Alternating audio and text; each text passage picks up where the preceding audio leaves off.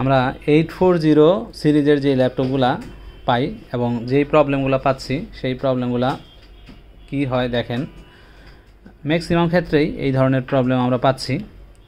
তো এইখানে আমরা যদি একটু জুম করে দেখাই এখানে।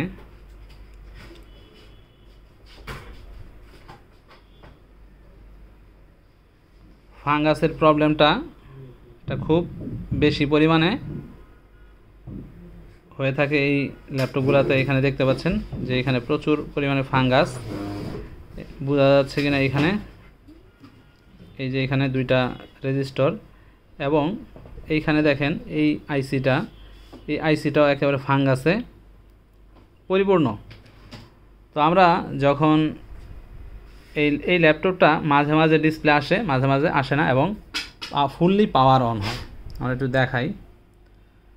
মেশিনটা কিন্তু ফুললি পাওয়ার অন হয়।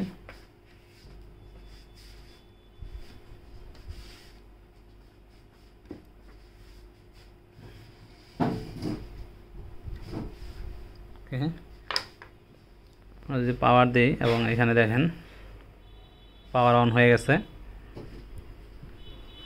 এখানেও পাওয়ার অন দেখাচ্ছে। লাইট। ওকে বাট আমরা কিন্তু এখানে কোনো প্রকার ডিসপ্লে পাচ্ছি না। ডিসপ্লেটা দেখাই। ফুললি রান হচ্ছে বাট কোনো প্রকার ডিসপ্লে আসতেছে না। এইখানে আমরা এইখানে আমরা দেখতেছি যে এখানে একটা লাইট আছে, যদি ডিসপ্লে আসে, এই অডিও ডিভাইসটার মধ্যে একটা লাইট আসবে বাট এটার মধ্যে লাইট আসতেছে না। বাট এটা মাঝে মাঝে ডিসপ্লে হঠাৎ করে চলে আসে, আবার আসে না। তো আমরা প্রাথমিক অবস্থায় ভালোভাবে এই অংশটুকু ক্লিন করব।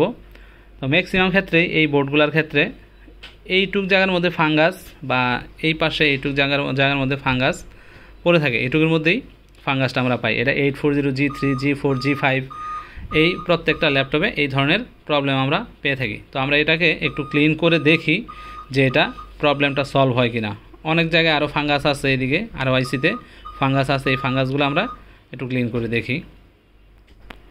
তো এখন আমরা এই ডাব্লিউডি ফোরটি এখানে দিয়ে দিছি এই ফাঙ্গাসের উপরে। তো কিছুক্ষণ এটা আমরা এখানে এটা ওয়েট করব ফাঙ্গাসগুলা ভিজার জন্য।